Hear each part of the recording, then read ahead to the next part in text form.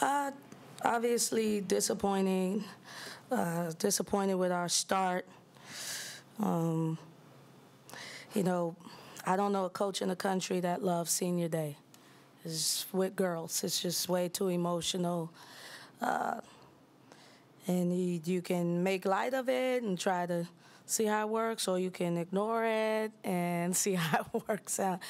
I've not yet been able to figure that out, um, and, but on a on a high note, I'm happy that we won that fourth quarter. Tennessee, in my opinion, is the most talented team in the SEC. Um, I know their record doesn't show it, but that has nothing to do with who they are.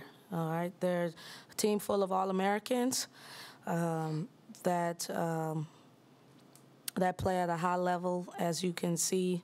Once they started getting rolling, I mean, they were almost unguardable. But uh, we fought, and uh, hopefully we could take that type of fight that we had in the third and fourth quarter into our game versus Florida on Wednesday. That first eight minutes, it was kind of they, they jumped out, y'all caught up, Yeah. had a three-point lead. But what did you see? You know, they said it was kind of their defense, but from your perspective, what did you see when they made that? I, I just I don't I don't to be honest with you I don't think we played well from the beginning of the game like it did not feel good to me from the beginning. It felt like it was a fight even when we had the lead. We didn't have the same gusto. We didn't move with the level we needed to move with the intensity we needed to play with. There was nothing there. Um, and so I was hoping we could just keep fighting um, and try to help have it unravel uh, and get past that little storm because of the emotions. I was chalking it up to the emotions. I mean, we had girls crying before the game. I mean, it was crazy. So, uh, but we, we never recovered. Uh, and so I, I don't want to take anything away from them, okay? Like I said, they had the number one recruiting class for the past three years. It's not like they got a bunch of scrubs over there. Um, but so I'm sure they did some stuff that helped them. But uh, um, but I thought that when they did jump into the press, they got a couple turnovers and everything that was going wrong for us just really surfaced right then and there. When you take a look at just how this season's gone Yeah. after senior night and all this, is there something in your head that sticks out of what you were impressed by, what you were surprised Yeah. by? Yeah, that's a great question. I hadn't really had a chance to sit back and just think about everything as far as this this um, this year has gone because we're not done. And I think I know myself. Like if I start to reminisce, and I'll just I don't want to cheat these, these young women, but. Uh, just to think on, on top. So I'm sure I have something deeper to say later, right? But since you asked, Nick, Nick on, on top, just off the top of my head, um, I just thought that we were resilient and we showed grit. I mean, there are times we've got embarrassed and then we came back and won. Um, there, I mean, there are times where where where no one thought we would win, and then we go on the road to Kentucky and we beat a ranked team. Um, everybody probably thought we'd lose by 100 to Mississippi State. It was a game. So here, um, especially after playing them the first time, and usually when we play a team a second time, we're even better. So I'm just trying to lean on that right now. Gonna give the girls an opportunity to rest, and we'll get back to the drawing board and be ready to give them all we got. Crystal, coach was talking about the emotion of today. What was today like for you? You put up 30 points, obviously, in, in, in senior night.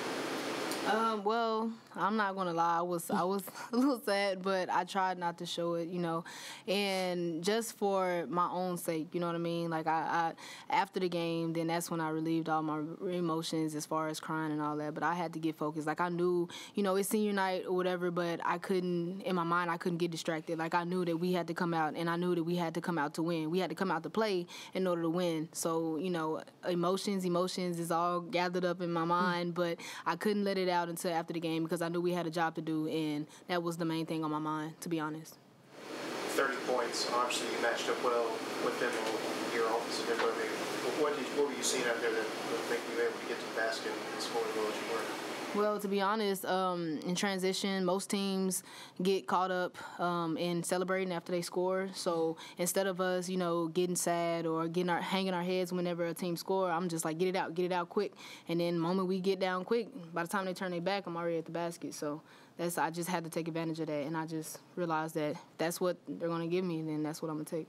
16 to 9 from Gabby today. Yeah, hey, you talk about someone who's excited. That's me uh, because she's a freshman, and so we definitely can build on that from for the future. And you know, it's tough. Our freshmen have been playing a lot of minutes, um, a lot, and so uh, I was proud of Crystal because she stayed, she stayed in it and and didn't break. And I thought that she played her heart out. I mean, she only played but two minutes.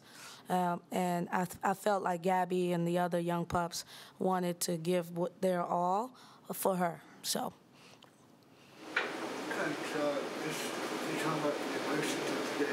What have the senior class meant to uh, the emotion? yeah, I mean, like I told them two days ago uh, that I, I, my loyalty, the reason why I stand up and coach, whether we're down 30 or we're up three, is because it's my loyalty to them. My the only way that I can show gratitude and appreciation for them coming and giving me a chance. You know, I had three players when I came.